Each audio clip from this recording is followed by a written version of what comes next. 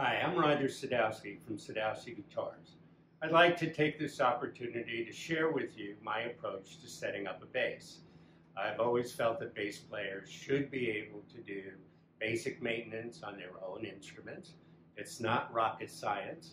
And so I'm going to go over with you the basic tools and the basic order in which to approach things with the goal of you being able to maintain your basses for routine maintenance. The very first thing to do is to tune the bass. But before we do that, there's one step that everybody overlooks, including myself many times, and it should be the first thing I think you should do. And that is, if you have a bolt-on instrument, to tighten these neck bolts. They do come loose over time, and it's very important for both stability and sound that they be tight. Now, whenever you're screwing on an instrument, I like to put my fingers around the head in case I slip, I won't damage the finish. So you want to tighten your neck bolts like this. Do them, get them nice and snug. And then you want to tighten your strap buttons because these tend to come loose. So you tighten this one, and then you tighten this one. Okay. Now we're ready to tune. And again, I'm using a Peterson clip-on strobe tuner, but you can use whatever tuners you have. For regular tuning, any tuner is fine. I'm just fussy about a strobe tuner for adjusting intonation. So just to tune now,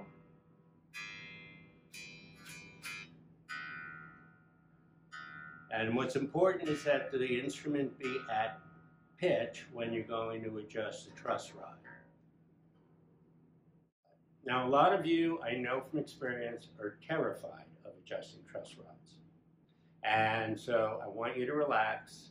Uh, it's very difficult to break a truss rod.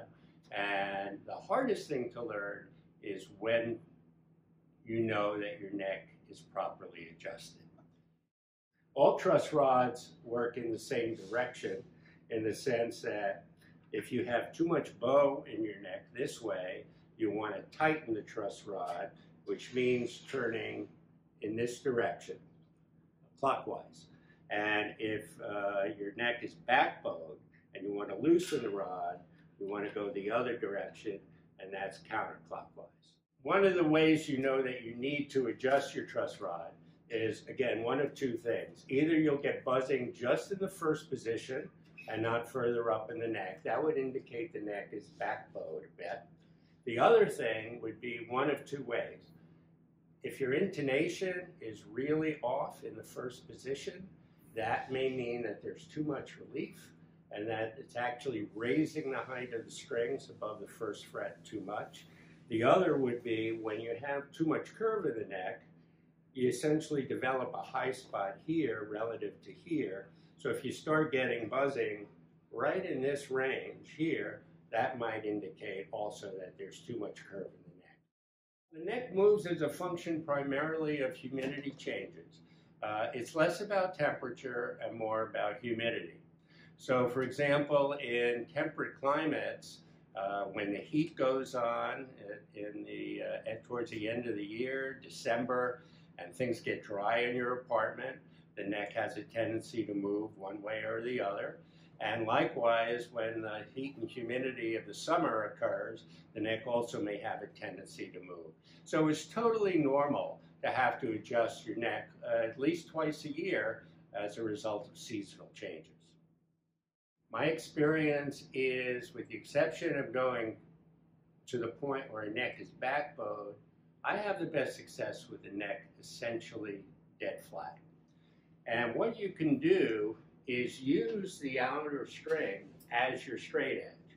So if I hold the string down at the first fret and then hold it down at the 12th fret, I am actually using the string as a straight edge. And where I want to focus my attention on is right about uh, the 7th fret.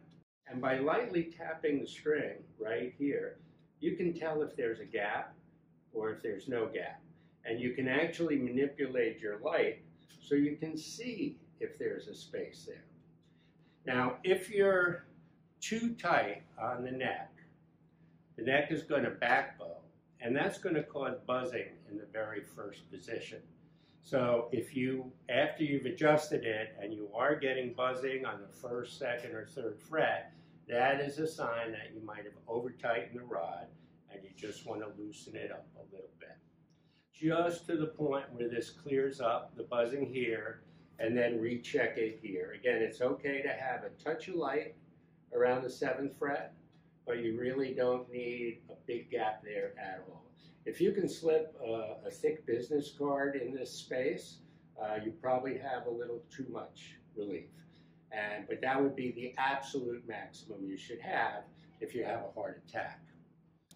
Okay, now we're going to uh, adjust our action at the bridge.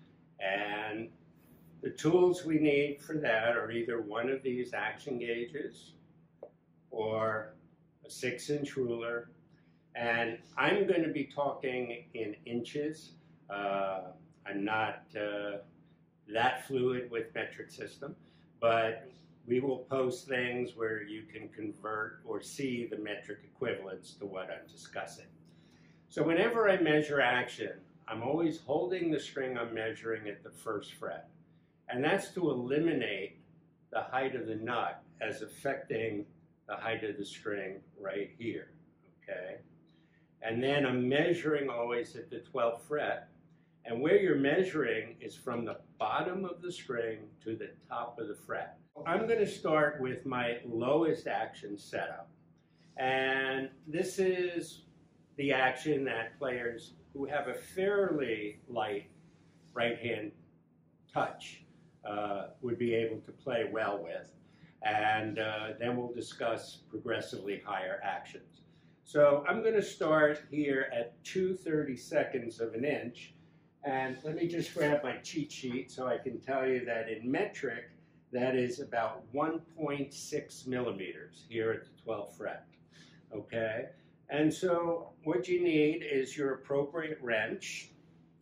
And most, most bass bridges have a separate height adjustment for each saddle.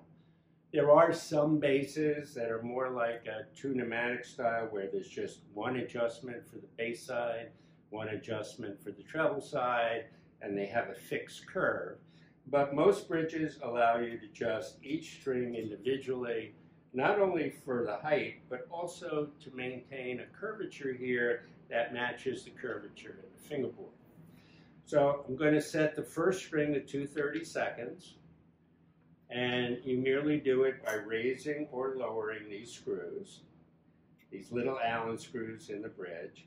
And you always want to try to keep the bottom of the saddle parallel to the base of the bridge. You don't want a sharp angle where one half of the saddle is sticking up in the air and the other is really low. You want them kind of even on both sides of the saddle. Let me back up for a second. If we're going to say this is 230 seconds, then the comparable uh, height on the bass side is going to be 330 seconds. And what we want to do, and it gets a little hard to measure, but you can see it visually, we want the D string to be just a little bit higher than the G. We want the A string to be just a little bit higher than the D. And we want the uh, E string to be just a little higher than the A, and the B string just a little higher uh, than the E. And so again, I'll get my high string at 230 seconds, then I'll get my bass string at 330 seconds, and then again going to follow the curve of the board, just a little bit higher on the second string, a little bit higher than that on the third, on the fourth, and on the fifth. And uh, this may take some practice just so you can see the graduations on these gauges, but uh, basically we're going from 2 to 3 30 seconds. The highest I've ever had to set up an action for anybody is 3 4 30 seconds. And back in the days, and I'm talking the early 80s, uh, when I was dealing with all the New York studio players, I was kind of shocked at how high everybody's action was. And that was because they had to play so cleanly in the studio. And the quality of their instruments back in that day, a lot of them needed the fingerboards retrued, a lot of them had bad fretwork. And so they would raise the action to whatever point they needed to play cleanly. But as uh, instruments have gotten better, as I've done a thousand fingerboard retrues and refrets over the last 40 years, uh, I've been able to nudge the actions progressively lower. The only players I have found who can go lower than two to three have been some of the Latin players who play with a very, very light right hand touch, and some of the funk players. Uh, they're able to go on a little bit lower, but players who need to articulate and play cleanly, I would say two to three at the lowest, and and you're going to laugh at me, but instead of saying 364, I'm going to say two and a half 30 seconds. Um, and um, so you want to go that much higher, and the highest you would go would be three to four. So we're concerned now with intonation. So you need a tuner. Again, and uh, previously mentioned, I really like strobe tuners. So on the headstock here, I've got the Peterson strobe, the headstock strobe. And over here, for the sake of the camera, uh, we have our larger Peterson strobe. Um, and I want you to understand that you can approximate intonation with a kind of needle type or LED type tuner, but nothing is as accurate as a strobe tuner and I think it's a great investment. Also, Peterson has an app, a strobe tuner app you can get for like $10 for your phone, and that's absolutely perfect. All right, so the first thing we need to do is a reference note, we, the note that we tune to. So you have a choice of the open string or the 12th fret harmonic. So whichever gives you the clearest reading on your tuner is the one you can use. And then you're going to compare that reference note to the fretted note at the 12th fret. Now to ensure accuracy, you want to hold the instrument as if you're playing it. If you do it like this, it's not going to be accurate. So hold the instrument like you're playing it, tune your reference note. So right now I'm going to tune the G.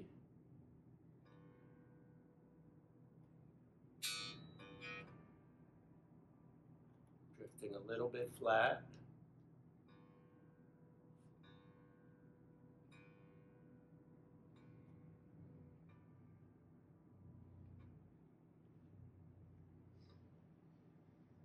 Okay, and then you want to play the 12th fret, the octave note, with a normal amount of playing pressure, like you would do if you were actually playing the instrument.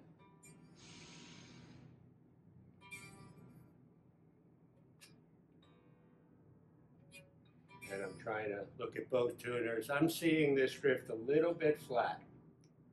So what I want to do, if your 12th fret note is flat relative to your reference note, you want to bring the saddle front closer to the neck. If your fretted note is sharp compared to your reference note, you want to pull the saddle back away from the neck. Almost all bridges just use a regular screwdriver, Phillips head screwdriver. So I'm going to loosen this to move it front, and you always want to push the screw front like this because it, it tends to develop some slack, okay? So now I'm going to retune my reference note.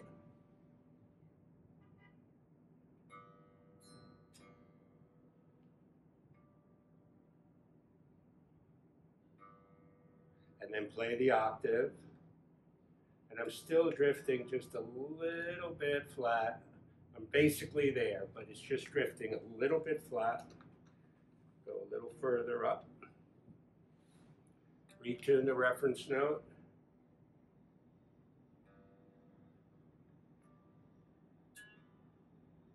And that's, that's nailed. That's as good as you're gonna get, okay? So you wanna do that for every note, every string uh, tuned to the octave or the open string, and compare to the fretted string at the 12th fret. So that's the basics on how you intonate your instrument. Once you're done with this, you're all set. Go ahead and make some music.